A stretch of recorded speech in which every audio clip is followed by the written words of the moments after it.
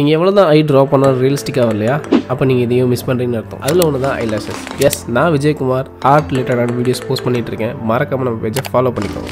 ஆக்சுவலாக நீங்கள் ஐலாஷஸில் ஃபோர் பாயிண்ட்ஸை நீங்கள் கான்சன்ட்ரேட் பண்ணணும். First one direction of eyelashes காமனாக எல்லாரும் ஐலாஷஸ் ட்ரா பண்ணும்போது ஒரே டேரக்ஷனை ஃபாலோ பண்ணி ட்ரா பண்ணுவாங்க.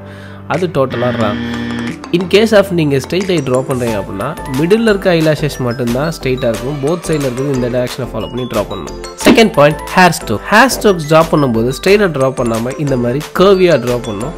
தென் ஸ்ட்ரோக்ஸ் பார்த்தீங்கன்னா கட் பண்ண மாதிரி இருக்கக்கூடாது. இந்த மாதிரி கர்வியாக ஷார்ப்பாக இருக்கும் third point is density of hair நார்மலாக எல்லா ஐயோட ஐலாஷஸோட ஹேர் டென்சிட்டியும் சிமிலராக இருக்காது. ஃபார் தி எக்ஸாம்பிள் இந்த ரெஃபரன்ஸில் இருக்க ஐயில் பார்த்தீங்கனாலே தெரியும். ஒரு ஒரு பிக்சருக்கும் ஐயோட ஹேர் டென்சிட்டி பார்த்தீங்கன்னா டிஃபர் ஆயிருக்கும் last point is set of hairs ஆக்சுவலாக நீங்கள் டீப்பாக அப்சர்வ் பண்ணும்போது ஐலாஷஸ்லேருந்து ப்ரெசென்ட் ஆகிற ஹேர்ஸ் பார்த்தீங்கன்னா செட்டாக கம்பைன் ஆகி ஷார்ப்பாக ஃபினிஷ்டாக இருக்கும் ஸோ நெக்ஸ்ட் டைம் நீங்கள் ட்ராப் பண்ணும்போது சிங்கிள் ஸ்டோக்காக ட்ரா பண்ணாமல் கம்பைன் ஸ்டோக்காக ட்ராப் பண்ணிங்கன்னா பெட்டராக இருக்கும்.